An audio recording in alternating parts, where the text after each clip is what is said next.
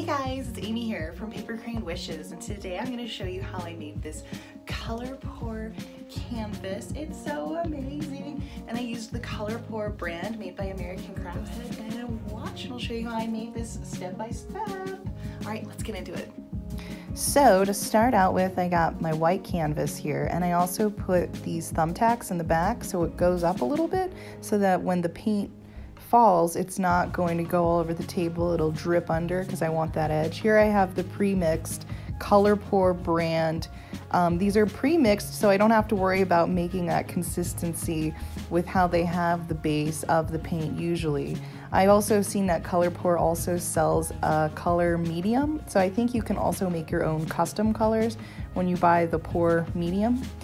What I'm doing here is I'm separating out the different colors and I'm putting them into little cups. I got these little cups at the Dollar Tree. They're little shot glasses, but I find that they're perfect for resin projects, things like this, anything that can make anything just a little bit easier. And what I really had fun on doing with this project is I used all color pour products from American Crafts. So right here I'm putting in Cell Magic and that creates this sort of texture with silicone that you'll use on your painting when you pour it. Um, I had to have popsicles and you know stir them so that you can make make it kind of do that. And once I pour it, you can see what these magic cells sort of are that they're talking about.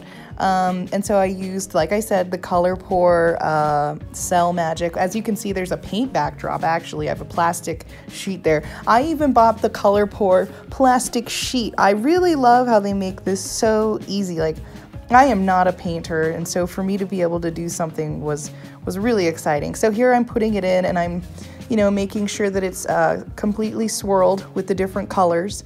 Um, and then to start, uh, I saw that it's good to have a primer base. So I just used the lightest one. And one reason that it's good to have a base is I, I get the feeling that it's easier for the paint to slip and slide all across the canvas if you have a layer of paint. So I just found the lightest layer, um, the lightest shade of the paint that we were using um, and I put some on and I just brushed it on. Like I said, it's just gonna leave a nice layer of uh, slippery, kind of something that could help it glide easy. Like I said, I used all the Color Pour, pro uh, Color Pour products when I made this. Um, and I couldn't be more impressed. I really am impressed with the brand. So when you're pouring, start with your lightest colors first. This will just be able to create a little bit more texture to make it, you know, seem like it's in that shade and that hue. And that's one reason I loved buying the pre-mixed paint is because I know that these colors are going to look good together.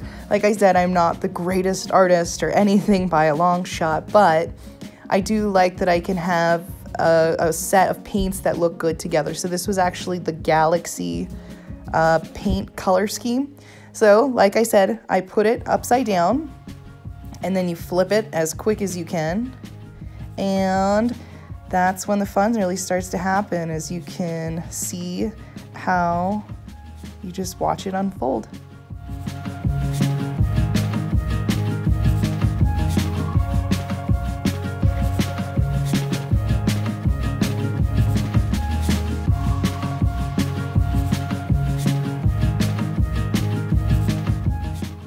And then you just kind of move the paint back and forth on the canvas till you really feel like you're getting the desired look that you want for your project. And here you can see the cell magic. See those circles? That's part of the silicone cell magic that we put in earlier that's creating that effect.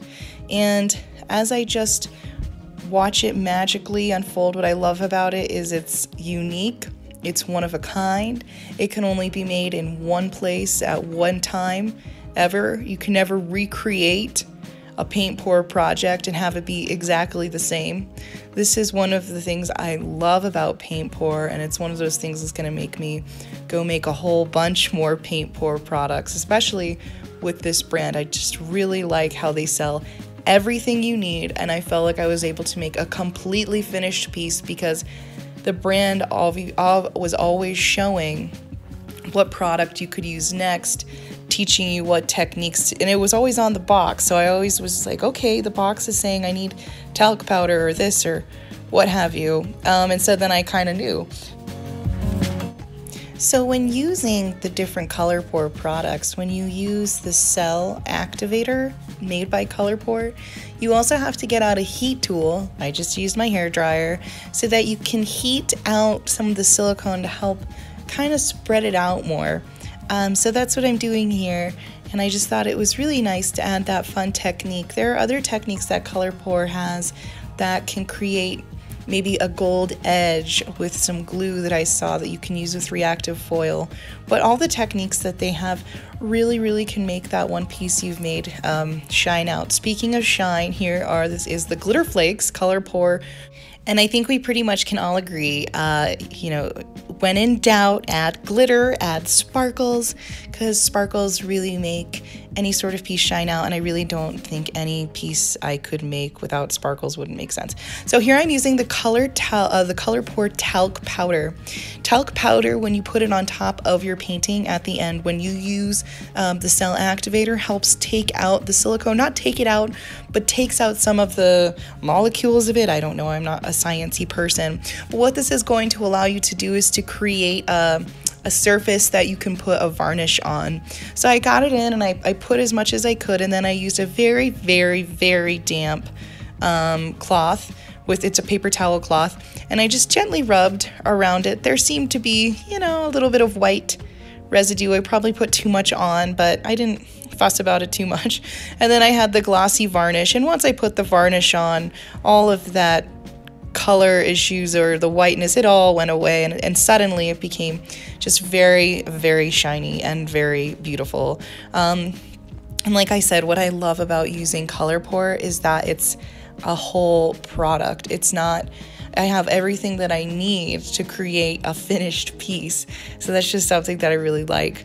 So if you guys like this video, give it a big thumbs up. If you want to see more videos like that, this, hit that subscribe button um, and you'll be notified when you hit that bell, you'll be notified whenever I make a new video. I always try to launch all of my videos live with a live chat so that people can swing by and say hi and talk about crafting or Etsy or whatever you're into. So, all right, guys, thank you so much for watching and see you next time.